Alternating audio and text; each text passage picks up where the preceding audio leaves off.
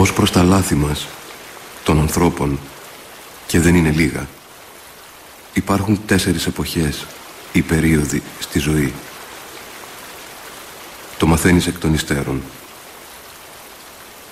Πρέπει να πω ότι αν δεν είσαι εντελώς ανέστητος, αυτή η συγκυρία της αναδρομικής κατανόησης δεν έρχεται ούτε αργά, ούτε νωρίς, αλλά ακριβώς εδώ και σήμερα, σαν το θρόισμα μιας ενδόμηχης αλλά δραστικής επικαιρότητας.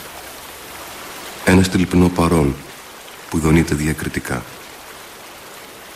Θυμίζει αν προτιμάτε τη διάβγεια της ατμόσφαιρας μετά τη βροχή.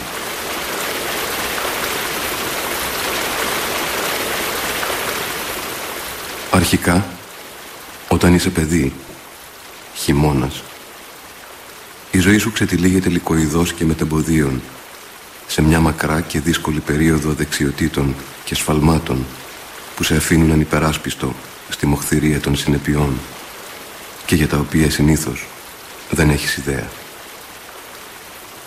Φυσικά τα επισημαίνουν οι άλλοι. Ενήλικοι άλλοι ως επιτοπλίστων.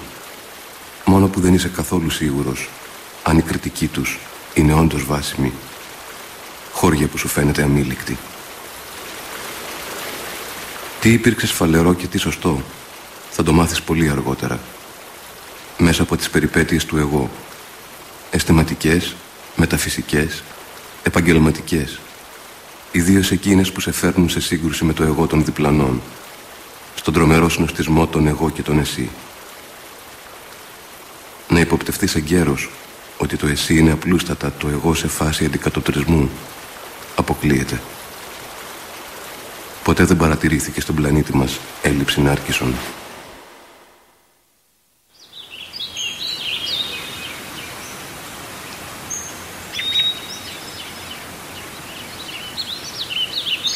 Κατόπιν, στη μεταφυσική φάση, άνοιξη, ενήλικος ήδη, τουλάχιστον τυπικά, θα αρχίσει να κατανοείς εν μέρη ή εν όλο τα λάθη σου αν όχι την ερμηνεία τους, αν όχι τον μηχανισμό τους.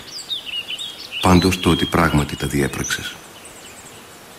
Σιγά σιγά ανεβαίνουν στην επιφάνεια όλα τα σκοτεινά και διευκρίνηστα σημεία και ίχνη και το τοπίο ξεκαθαρίζει, όπως για κάποιον που συνέρχεται από πνιγμό με τεχνητή αναπνοή. Μπορείς τώρα να ξεχωρίσεις τις αποχρώσεις του ονείρου και να δεις για παράδειγμα ότι τον αγωνίζεσαι να κατακτήσεις γυναίκες που δεν είναι ικανές να κατακτηθούν αποτελεί την πιο αποτελεσματική μέθοδο στην περίπτωση που προτιμάς να μείνεις μόνος σου και να καθησυχάσεις έτσι τον υπόγειο τρόμο της συναναστροφής. Θα ήταν απίθανο να το γνωρίζεις αυτό στην τρίτη ηλικίου δίποτε πρικισμένο και αν ήταν το ενστικτό σου. Τα λάθη τότε αναδύονται εν είδη φωτεινών κρυστάλλων μέσα από τα οποία διακρίνεις όλες τις παραμορφώσεις, όλες τις διαθελάσεις, τις επιθυμίες και τις έντασης, εξαιτίας της οποίας λοξοδρομούσες προς τα διέξοδα και τις επαναλήψεις. Καταλαβαίνεις ότι εκείνο ή το άλλο σφάλμα ήταν συμπτώματα μιας αναπηρίας, εκδηλωνόμενης στην προθυμία να υπηρετείς εν αγνία σου το θάνατο, όχι τη ζωή. Δηλαδή μια κατάσταση όπου τα πάντα γίνονται και ξαναγίνονται ίδια και απαράλλαχτα, όπως το σύμπαν της τσιγκουνιάς ή της διαστροφής ή της χαρτοπεξίας. Διότι πρώτα μαθαίνουμε το θάνατο και κατόπιν τη ζωή. Αυτό το γνωρίζει η κάθε μάνα που έχει βάλει το μωρό της για ύπνο. Ειδικά επειδή τα λάθη είναι των άλλων, λοιπόν, καταλαβαίνεις περιέργως ότι δεν φταίνει οι άλλοι για ό,τι δυσάρεστος σου συμβαίνει, αλλά μάλλον εσύ ο ίδιος που δεν το διέβλεψες ως ενδεχόμενο. Καταλαβαίνεις ότι πλέον δεν δικαιολογείται η παραμικρή έκπληξη. Από ένα σημείο και ύστερα, τα ψυχικά κύτταρα της εμπειρίας αναπαράγουν το DNA τους με τη μορφή συμπαγών διδαγμάτων που σχηματίζουν αλυσίδες αβίας των απαγορεύσεων. Η πείρα δράσαν το δαιμόνιο του Σοκράτη δηλαδή αποτρεπτικά. Και εσύ κατανοείς επίσης ότι όλα ανεξαιρέτως τα λάθη που έκανες μέχρι τότε ήταν στην ουσία κρυφές παραλλαγές της μόνιμης, θεμελιώδους ανικανότητας να στρέψεις το βλέμμα προς τα εκεί όπου δεν σε συνέφερε να δεις. Όλες οι αποτυχίες αποτελούσαν προσωπία του ίδιου φόβου.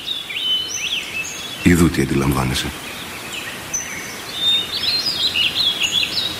Τώρα, έχοντας συνειδητοποιήσει τις δυνατότητες να πλησιάσεις εποπτικά αυτό το ένα και μοναδικό λάθος, το ιδρυτικό λάθος μιας ύπαρξης που στερήθηκε την ασφάλεια της λογικής και της αγάπης, επειδή οι γεννήτορες δεν διέθεταν τέτοιο εμπόρευμα. Γλιστράς χωρίς κλειδονισμούς, σε μια τρίτη κατάσταση. Καλοκαίρι, όπου ξαφνικά τα αμέτρητα λάθη των οποίων τα επακόλουθα σε πολιορκούν μοιάζουν να γίνονται με ευθύνη των άλλων, όχι δική σου. Είσαι πια αρκετά ανθεκτικός και ξέρεις πως αν σου έλεγαν να μην τους καθαρίζεις το πορτοκάλι τους με λερωμένα χέρια θα μπορούσες κάλλιστα να τους απαντήσεις ότι για εκείνον που αγαπάει δεν υπάρχουν λερωμένα χέρια ενώ για εκείνον που μισεί απλώς δεν προσφέρουμε πορτοκάλι εδώ πέρα και ας πάει να το παραλάβει από τα καθαρά χέρια του σερβιτόρου. Δεν είσαι πλέον παιδί. Έχεις εξελιχθεί σε έναν ικανό συνήγορο του εγώ και κυρίως του εσύ. Ξέρεις αν ολίγης ότι καθώς υποκάφηκα, αν είναι να τα βάλεις με τον κόσμο, υποστήριξε τον κόσμο. Διευκόλυνε τον να φεύγει, όπως είναι στη φύση του. Έμαθες ότι αντί να κατηγορείς τον άλλο για βλακεία, προτιμότερο είναι να του δείξεις την έξοδο.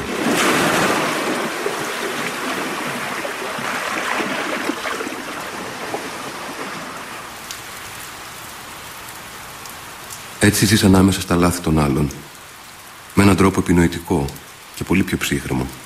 Τρόπο αυστηρό ή επίοικη αναλόγως, ο οποίος δεν στηρίζει ούτε ακριβώς εσένα, ούτε ακριβώς τον άλλον, όσο τη ρύθμιση της μεταξύ σας σχέσης.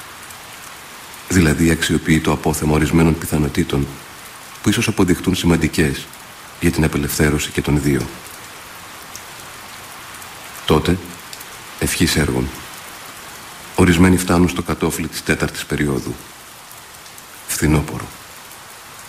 Όπου αισθάνονται ότι δεν φταίνε ούτε οι ίδιοι, ούτε οι άλλοι.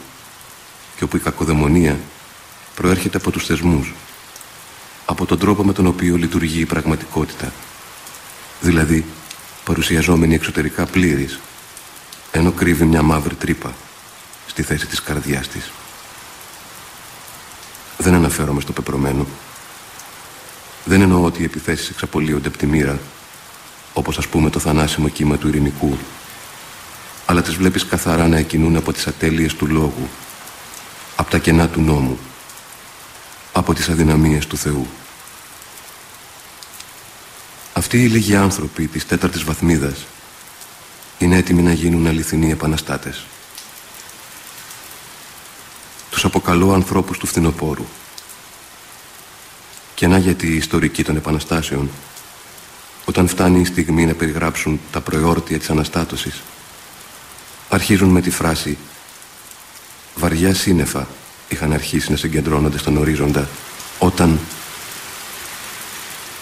βάθος συνείδησης και βαρομετρικό χαμηλό πάνε μαζί.